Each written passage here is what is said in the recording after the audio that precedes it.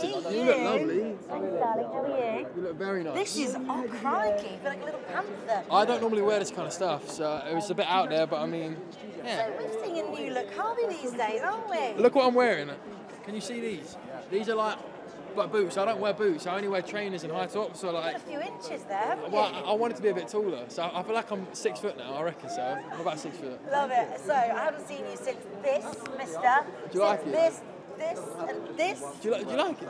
Very grown up. Tell us what it means. I mean, I'm sorry I'm bored of people. No, no, no, no. It's, got, it's my mum's birthday in Roman numerals. So What made you have one on your neck?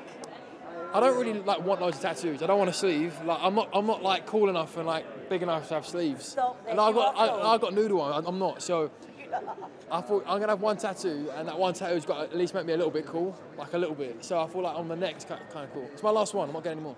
Talking about cool doesn't get cooler than shutting down shopping centres, does it? It wasn't too bad actually. Yeah, it was alright. Yeah, that was pretty crazy. I didn't expect that to happen. So what, what actually happened then? You had a meet and meet and greet. Yeah, right, long story short, I had a meet and greet set up properly um, with, a, with a store, and then it got cancelled like a, a couple hours before, basically.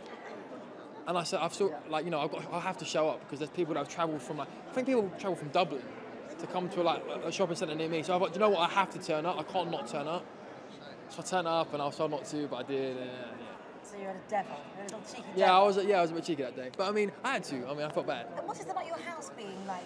People coming to your house or something? That happened as well. Yeah, quite a few people.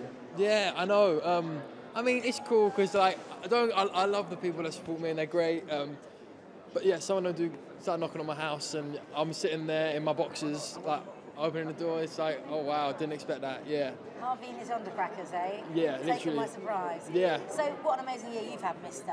Thank you. It's not bad. And Jonas Blue's helped you out as well, hasn't he? He, I love. He's the best. Jonas is the best. He's really helped me out and done some amazing things with him. So So second time he's brought you out on stage, right? yeah, second time. Yeah. Amazing. Actually, I think it's the third time. Is it? Yeah. Well, well, this time we got a song together, which is which is which is good. So. And apparently he's two doors away from Harry. Are you near Harry? I did, do you know what? I'm I'm not as near as Harry as he is, but I did see his dressing room. And my sole like thing tonight, my sole mission. I've even told my whole team on the group chat. I was like, I need to get a picture of Harry.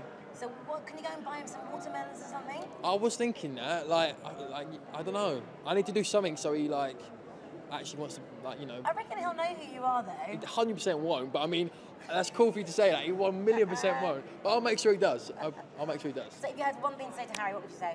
Um, what would I say? Oh god, see that's what I'm saying. I'm on the spot. I don't know what I'd say. I just I say, I know you always get this, but do you mind if I go have a picture of you? Like I hate asking. Like that. Ask him a question about something as well though. Make it more interesting. Like I what's your should. favourite colour pencil from a pencil? Do you case? actually like watermelons? watermelons? There you go. Like do you genuinely like them? We've got this sorted.